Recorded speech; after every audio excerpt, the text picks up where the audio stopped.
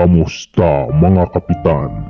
Ngayon ay pag-uusapan natin ang nangyaring massacre sa araw ng St. Bartholomew.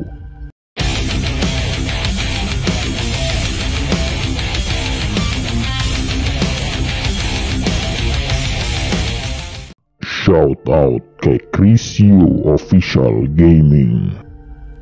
Nangyari ito noong Agosto 24, 1572 sa Paris, France. Ang death toll ay malaki ang pagkakaiba-iba.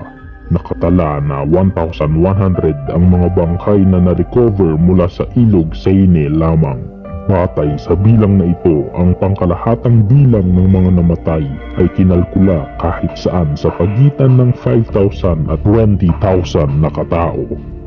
Noong ikalabing anim na siglo, ang mga movement sa mga reformang panrelihiyon ay talamak sa Europa tulad ng sunog. Ang mga tao ay kumukontra sa simbahang katoliko at pilit na tinatanggal sa buong kontinente. Sa Pransya, ang hidwaan sa pagitan ng mga Huguenot at mga Katoliko ay nakilala bilang Wars of Religion. Si Haring Charles IX ng Pransya sa ilalim ng pag-iingat ng kanyang ina na si Catherine de Medici ay nagutos na patayin ang mga pinuno ng protestante ng Huguenot sa Paris na nagtatakda sa marhas na pagpatay na nagresulta sa massacre ng libu-libong mga Huguenot sa buong Pransya. Dalawang araw na nakalipas, iniutos ni Catherine ang pagpatay kay Admiral Gaspar de Coligny, isang pinuno ng Huguenot na sa palagay niya ay pinamumunuan ang kanyang anak sa gyera sa Espanya.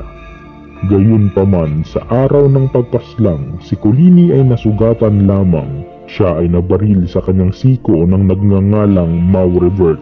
Nangako naman ang kaibigan niyang si Charles na hari nasisiya sa atin ang tangkang pagpatay sa kanyang kaibigan upang mapakalma ang galit na galit ng mga Huguenots. Pinaniwala ni Catherine ang batang hari na ang mga Huguenot ay nasa bingit ng paghihimagsik at pinahintulutan niya ang pagpatay sa kanilang mga pinuno ng mga otoridad ng Katoliko.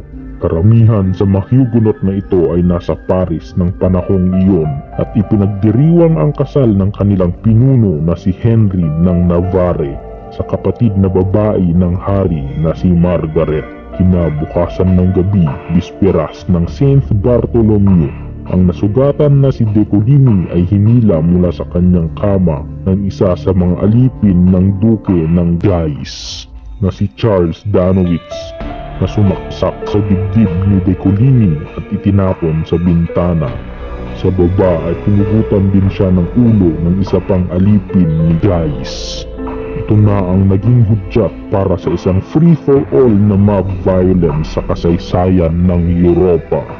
Ang mga manggugulo sa Paris ay sumugod sa lungsod at galit na galit ang pagdanak ng dugo ang nangyari sa loob ng lungsod.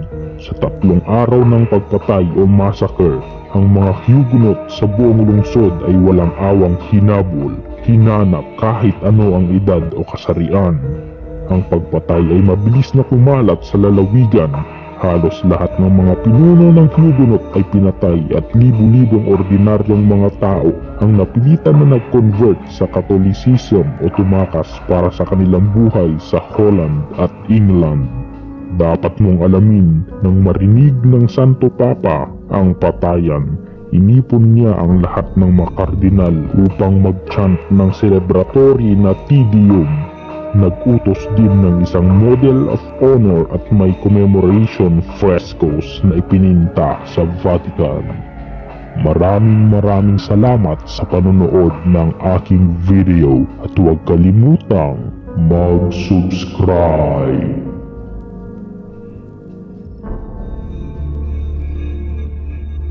Thank you so much mga kapitan.